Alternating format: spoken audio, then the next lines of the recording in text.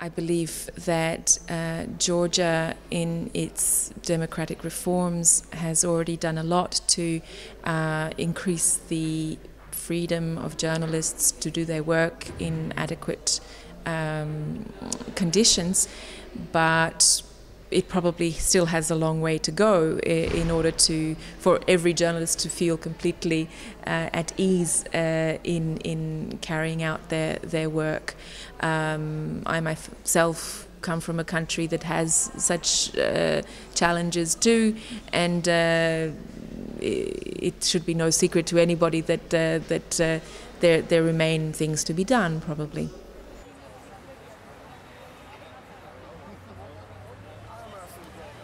I remember the case of uh, the eviction of uh, IDPs. I understand that the UNHCR has been closely uh, following this as well as the Public Defender's Office. Um, they monitor the conditions uh, in which the um, the evictions take place, the procedures beforehand, and uh, the livelihoods of, of, of people who who then are displaced to places let's say outside of Tbilisi.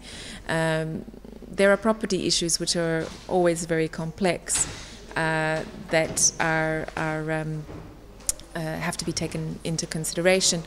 Uh, some some people were in settlements, some in in um, uh, not actually legally uh, residing in in uh, private accommodation.